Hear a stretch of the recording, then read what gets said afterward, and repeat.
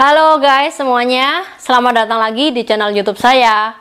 Ana Budi Putri, Accredited Jewelry Professional by GIA. Oke, nah hari ini kita akan bahas satu topik yang gak kalah menariknya. Nah, yang sekarang lagi ngetren nih. Zaman dulu kan orang tahunya emas itu warnanya apa? Kuning kan? Nah, memang bener emas itu warnanya kuning. Nah, tapi sekarang juga sudah beredar di pasaran emas putih dan ada juga yang disebut rose gold. Yuk kita cari tahu perbedaannya antara ketiganya.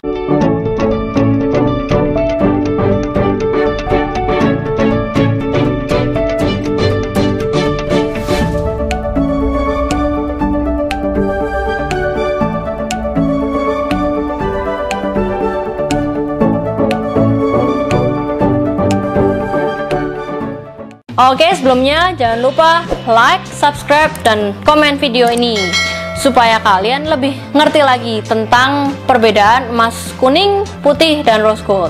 Oke, yang pertama emas kuning. Nah, emas kuning ini di dalam perhiasan udah umum dari zaman dulu. Memang pada dasarnya emas itu warnanya kuning. Nah, emas murni yang kalian sering lihat juga warnanya kuning, emas batangan juga warnanya kuning.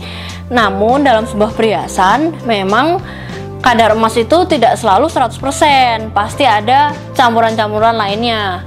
Nah, emas kuning ini banyak dicampur dengan campuran perak dan tembaga dan juga ada uh, kadar rhodium tertentu supaya tetap menjaga warnanya itu tetap kuning, guys. Nah, sedangkan yang kedua, emas putih. Emas putih itu emas yang memiliki beberapa campuran lain seperti perak, timah, nikel, dan rhodium. Ketika bereaksi, maka zat warna tersebut akan berubah menjadi warna putih.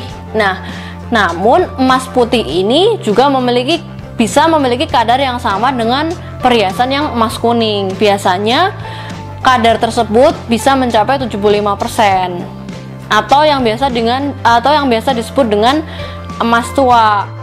Nah, satu lagi yang namanya emas rose gold. Emas rose gold ini mengapa sebenarnya warnanya bisa rose gold? Karena ada campuran tembaganya guys. Nah, campuran tembaga yang sedikit banyak memang warna asli dari tembaga itu sendiri sudah kemerah-merahan. Ketika dicampur dengan emas, makanya menjadi warna rose gold. Nah, warna rose gold sendiri sangat populer di kalangan milenial atau kalangan uh, fashion yang sekarang ini sedang ngetren gitu karena warna rose gold ini unik, cantik, dan juga nggak ngebosenin. Nah, untuk lebih jelasnya, kalian bisa lihat gambar yang sudah saya bikin ini, perbedaan warnanya. Nah, kalian sekarang sudah tahu gimana cara mereka atau produsen atau pabrik perhiasan bisa mencampurkan berbagai macam bahan sehingga mengeluarkan reaksi warna menjadi putih atau rose gold. Nah, itu dia perbedaan emas kuning, emas putih, dan rose gold secara singkat dari saya. Semoga kalian lebih semangat lagi untuk belajar dan supaya saya lebih semangat lagi, jangan lupa klik like, subscribe, dan komen channel YouTube ini.